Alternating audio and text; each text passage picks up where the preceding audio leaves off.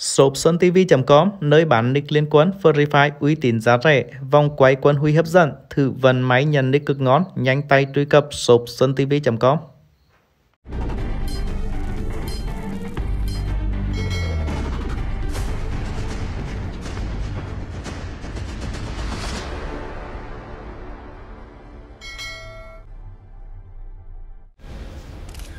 Ok, chào toàn thể anh em đến với channel của NMH trong video này thì uh, NMH sẽ làm về vị tướng xạ thủ được tăng sức mạnh Ở bản cập nhật mới nhất gần đấy Đó là xạ thủ Terry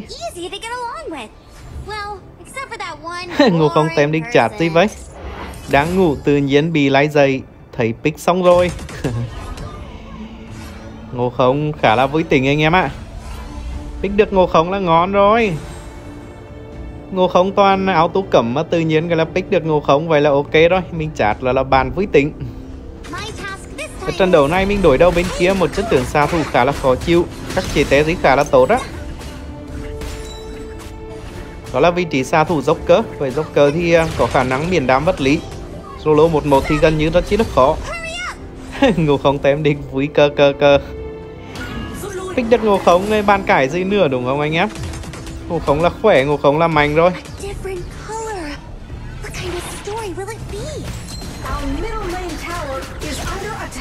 Hiện tại bây giờ thì uh, bên địch gọi là đang lần lượt hơn team bên mình xíu bởi vì chất tưởng Natalia thì ở giai đoạn đầu game cũng khá là khỏe Rồi, rừng tem mình thì đang gánh chuẩn bị gánh đường rồng anh em ạ. À. Pha này nếu mà giáo tránh thì chơi được này. Rồi, bắn vào đến từ vị trí của rừng lùi lại sao thủ tém địch mật chiêu hài rồi nhá.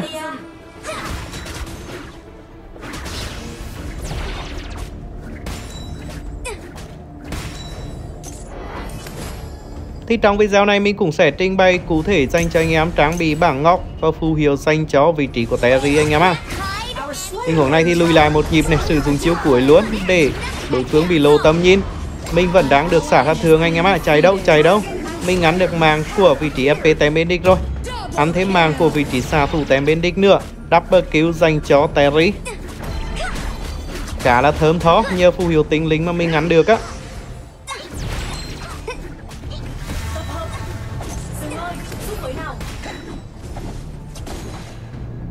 Terry là mẫu chất tướng.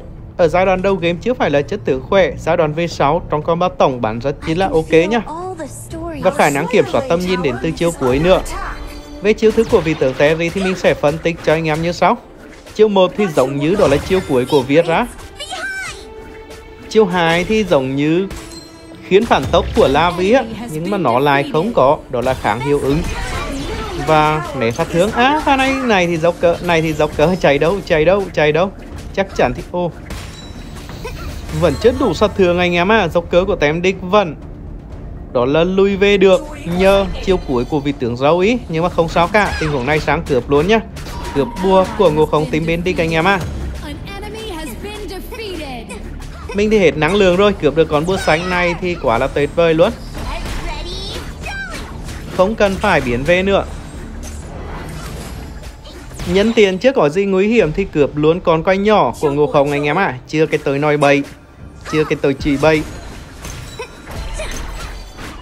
Đối đầu với Joker thì anh em cần lưu ý cho mình một điều, Đó là đừng có solo thẳng mặt với nó nhá. Chưa cầm chất tướng Terry mà solo thẳng mặt là thua. Mà anh em phải lừa góc mà bắn.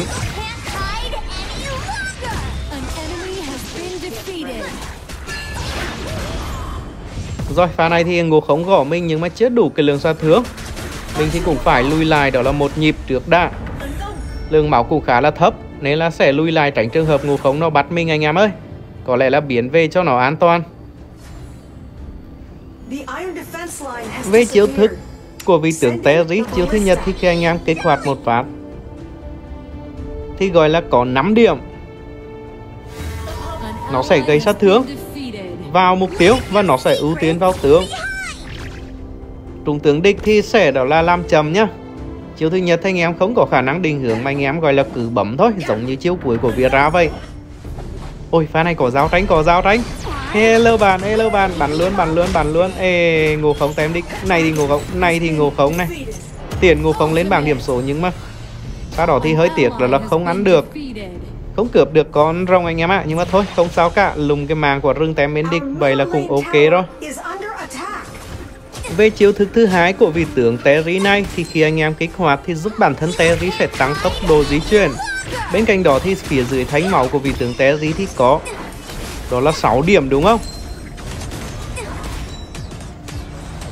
Thì đầu thì anh em chỉ đó là được 4 điểm. Càng nấng đó là chiêu hái Thì sau đó thì anh em sẽ được đó là kích hoạt chiêu hái phạt Thì giúp anh em tăng tốc độ di chuyển Và có 6 điểm phía dưới thánh máu. Tức là cứ hái cấp anh em nấng chiêu hái thì sẽ tăng thêm một điểm. Ví dụ đầu thì anh em chỉ được 4 điểm đúng không? Sau anh em gọi là nâng hai lần, chiêu hái nữa. Thì sẽ được, đó là 5 điểm.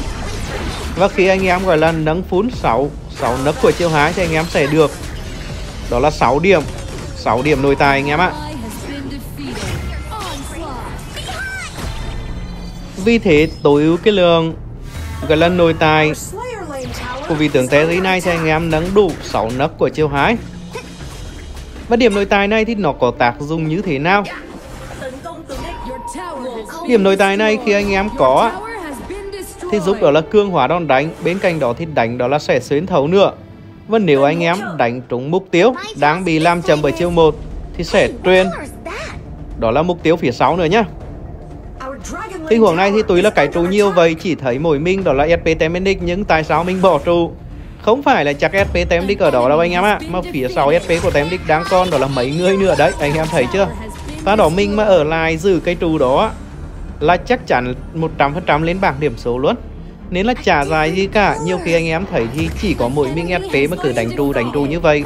Anh em hãy nghĩ à phía sau đó là đáng con đó là những người khác nữa đúng không? Đó là chỉ môi cấu thôi môi nhử thôi. Nếu là anh em chơi xạ thủ thì nên đó là lính đồng những cái điều đó một xíu thì qua đó thì giúp anh em là giữ vị trí sẽ tốt hơn thôi. Chưa thấy tầm nhìn của tem bên địch trên bản đồ mà thấy một người gọi là cấu nhử như vậy thì chắc chắn phía sau đáng có đó là nhiều người nữa. Về chiêu cuối của vị tướng Terry thì anh em thấy thì mình vừa bắn ra. Bắn ra như vậy thì trúng mục tiêu thì sẽ gây sát thương. Đối phương gọi là bị lộ tầm nhìn anh em nhé Bên cạnh đó thì nó sẽ gọi là bay trở về nữa. Đó Về chiêu cuối của vị tướng Terry là như vậy thôi khá là đơn giản. Nó không có hiệu ứng làm choáng Nói chung thì sẽ giúp phát hiện tầm nhìn tốt. Bây giờ thì đáng thấy ngô khống đuổi FP tem bên mình rồi. Và này mình sẽ lại bắt này. Hello bạn ngô khống Hello bạn ngô khống. Tiền ngô khống lên bảng điểm số. Rồi tốc biến thì mình cũng có tốc biến. Tốc biến đuổi theo luôn Và double kill dành cho mình.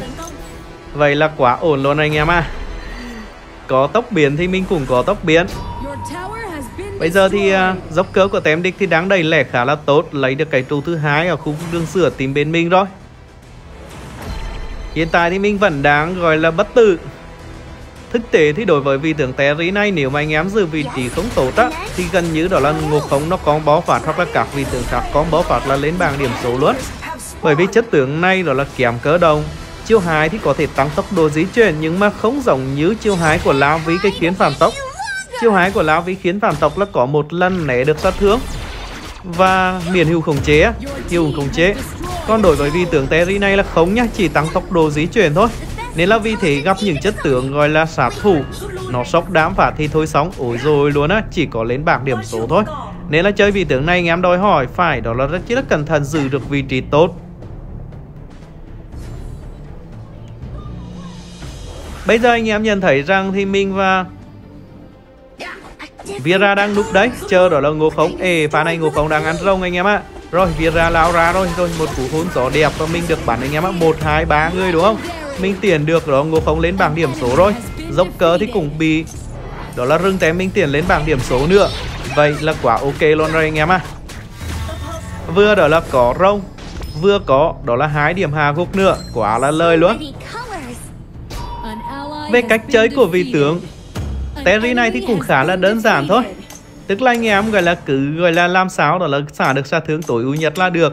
Kích hoạt chiêu hái để bắn. Rồi sử dụng đó là chiêu một để gây sát thương thôi. Chiêu một thì anh em không có khả năng định hướng. Nên là anh em gọi là cứ bấm thôi anh em ạ. Nó thì sẽ ưu tiên. Đó là gây sát thương vào tướng đích trước. Đấy. Thì nó là đơn giản như vậy thôi. Chiêu thức không có gì là khó cả. Chủ yếu là anh em kích hoạt chiêu hái để cương hóa đòn đánh và có thể đánh xuyên thấu được. Đây, ví dụ pha này chẳng hạn này. Bắn này bắn này bắn này rồi pha này thì à, uh, sp tém địch cũng lên bảng điểm số rồi. Dốc cỡ của tém địch thì cũng bỏ đó là ta thân xế giá bỏ chay rồi dốc cỡ đáng thấy khá là thấp máu mình tốc biến đuổi theo. Ê pha này nó bật chiêu hái đẹp rồi.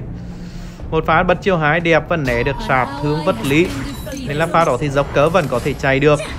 Nhưng mà không sao cả cướp nhẹ đó là con à, bua sánh của team bên địch luôn của ngô không luôn. Quay trở lại xả thương bật chiều hai lên bắn bắn bắn dốc cỡ thì đã phải lên bằng điểm số rồi sp tủa tem bên địch thì Raui thì vẫn có thể lui về được. Rồi, pha này mình sẽ bắn chiêu cuối này. Ngô không tăng hình nhưng mà bị lô tầm nhìn. Lùng thêm đó là một điểm hỗ trợ nữa. Thì lối chơi của Terry là như vậy thôi. Mình nghĩ thì cũng không phải có gì là khó cả. Nhưng mà quan trọng nhất là anh em phải làm sao giữ được vị trí.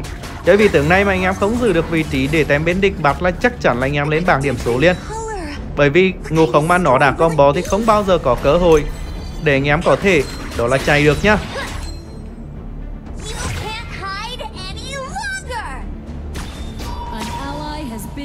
Về phần phù hiệu mình sẽ sử dụng tinh linh để gây thêm sát thương. Tinh linh thì rất chi là phù hợp dành cho Terry rồi Quá là phù hợp luôn. Trong combat tổng thì vị tướng Terry này cũng rất chi là khỏe Bởi vì chiêu 2 thì có khả năng bắn xuyên thấu này. Rồi pha này bắt này Chạy đấu lên bảng điểm số đến từ vị trí của Butterfly tem Bendic. Ở trong giai đoạn cuối game thì à, những vị tướng máu giấy gần như đó là chỉ à, 2 đến 3 bản 3 bản thôi anh em ạ. Là trắng máu rồi.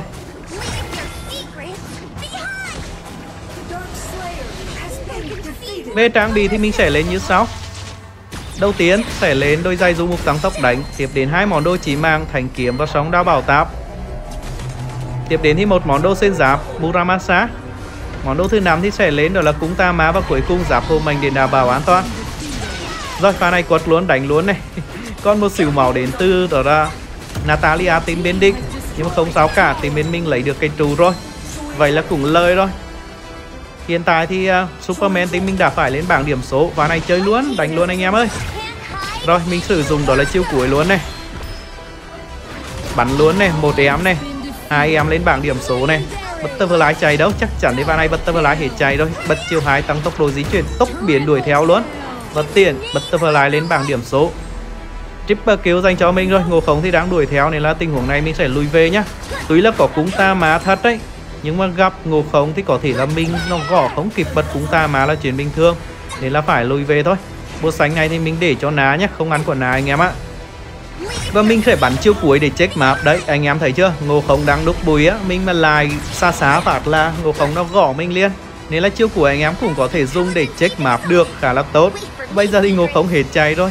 Thứ nhất đó là bị Superman đuổi, thứ hai bị ná đuổi. Hai chất tưởng cỡ đồng thì ngô không có mà chạy lên quần.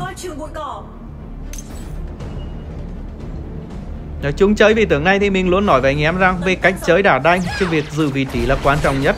Các vị tướng khác á, anh em sai lầm có thể bỏ chạy được bằng đó là các chiêu thức.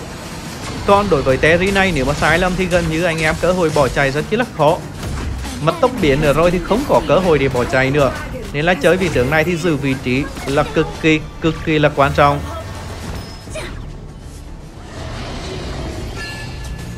Về bảng ngọc dành cho vị tướng, Terry này thì vẫn sử dụng bảng ngọc theo thiên hướng đó sát thương chỉ mang thôi. Ngọc đỏ tỷ lệ chỉ mang và sát thương chỉ mang 10 viên. Ngọc tím 7 viên tốc đánh tốc chạy 3 viên hút máu và ngọc xanh công vật lý và xuyên giáp.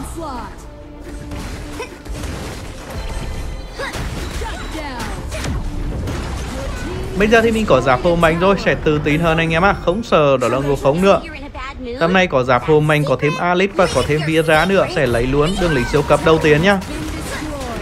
Rồi chắc có lẽ là vẫn chưa win được Chỉ lấy được một đường lính siêu cấp thôi bởi vì tem bên địch thì cũng xuất hiện, Đó là ba người rồi Có lẽ là lùi về một nhịp, đẩy thỉnh lên cáo Và ăn những mục tiêu lớn thôi, Bởi vì hiện tại phút thứ 14 rồi, Phút thứ 15 có con ta thân xê giác cực kỳ là quan trọng. Đang nhận thấy tâm nhìn của ngục khống Và bật tờ lại rồi nhá. Và này cẩn thận này Bật tờ lại thì mình nghĩ đang núp ở bụi cỏ à, ở giữa đó thôi. Đây đây Vira tay mình cũng lại rồi thôi. Và này hai người đều là vén cả thôi không sao cả pha này thì Vira mất cái tốc biến thôi. Mình tiền butterfly lên bảng điểm số. Pha đổ mình tưởng là cho Alice ra đã. Nhưng mà Vira tay mình lao lên anh em ạ Rất may thì pha đổ Vira tay mình vẫn sống được á Không sao cả. Rồi bây giờ thì sẽ là, là lù lung linh la lên luôn thôi.